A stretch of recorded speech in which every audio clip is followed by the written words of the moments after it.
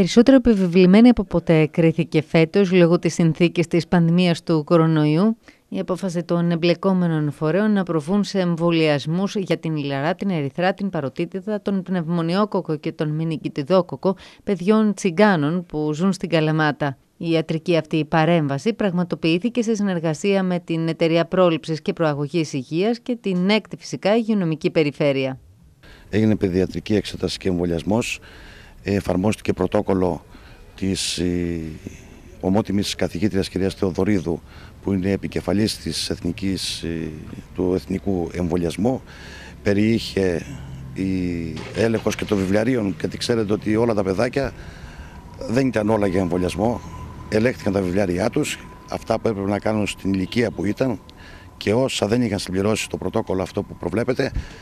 έγιναν εμβολιασμοί που αφορούσαν κυρίως την ηλαρά, την ερυθρά, την παροτίτιδα, τον πνευμονιόκοκο και τον μηνικητιδόκοκο. Ε, σημαντική συμβολή ήταν του κέντρου κοινότητας, του Δήμου Καλαμάτας, έτσι ώστε να κρατήσει και την σειρά και την τάξη στο χώρο, στο φιλόξενο χώρο της Αγίας Τριάδος, έτσι ώστε με τηρώντας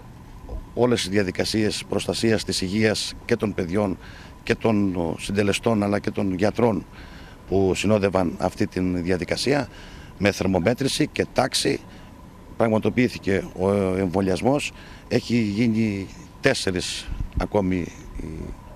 Τέσσερι ακόμη εμβολιασμοί έχουν γίνει κάτω το παρελθόν. Εκτός από το κέντρο κοινότητας του Δήμου, σημαντική ήταν η συμβολή του Ελληνικού Ερυθρού Σταυρού, της Παιδιατρική Κλινική Μητέρα και του Νοσοκομείου της Καλεμάτας, με τους φορείς να σκύβουν στα σοβαρά προβλήματα των συγκεκριμένων ανθρώπων. Προσπαθούμε και σε αυτούς τους ανθρώπους να τους προσφέρουμε ή να συμπληρώνουμε αυτά τα κενά ενδεχομένως που έχουν στο θέμα της υγείας και ιδιαίτερα της υγείας των μικροπαιδιών.